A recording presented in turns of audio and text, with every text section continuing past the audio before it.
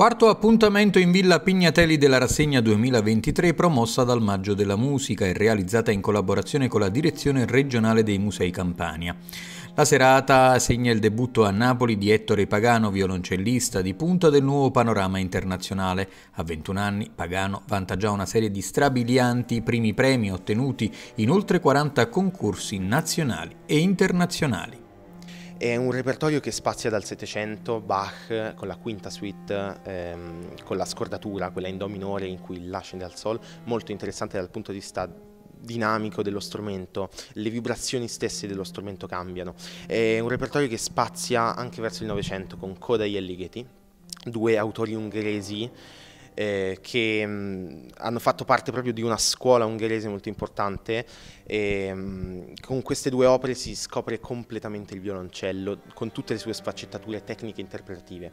Quindi è un repertorio sicuramente completo che è un biglietto da visita per questo strumento, il violoncello. Il violoncello solo non è un repertorio che viene proposto spesso. Io spero di fare sicuramente del mio meglio per, um, per far conoscere questo tipo di repertorio al pubblico stasera.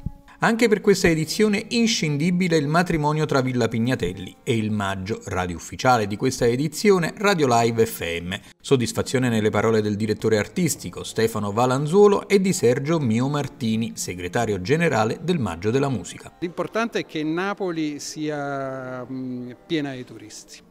Eh, che questi turisti siano diventati turisti consapevoli della qualità culturale dell'offerta, della qualità culturale napoletana e in questa eh, offerta culturale napoletana c'è anche il Maggio della musica naturalmente. Noi ehm, siamo contenti di aver messo su una stagione eh, non banale, cioè una stagione in cui eh, ci sono una serie di protagonisti, eh, una serie di, di, di, musicisti che magari a Napoli eh, non hanno mai suonato. Ecco, il caso di Ettore Pagano, violoncellista ai 20 anni, straordinario peraltro, eh, che mh, debutta a Napoli è un caso che può solo farci piacere perché rientra in questa politica di novità.